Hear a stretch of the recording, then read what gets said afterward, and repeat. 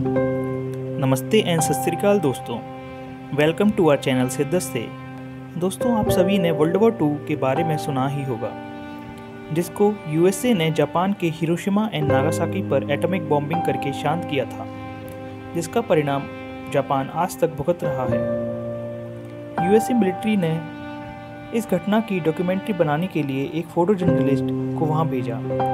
Photo journalist ने एक interview में अपने एक्सपीरियंस को साझा करते हुए बताया कि वहाँ एक 10 साल का बच्चा अपने भाई की डेड बॉडी को पीठ पर लादे हुए शमशान घाट में खड़ा था।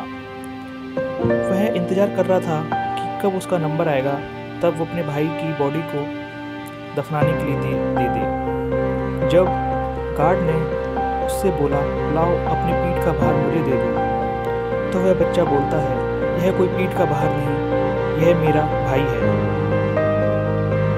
उसने अपने होठ को इतनी ज़ोर से दबाए हुए था कि उसके मुँह से खून निकलने लगा।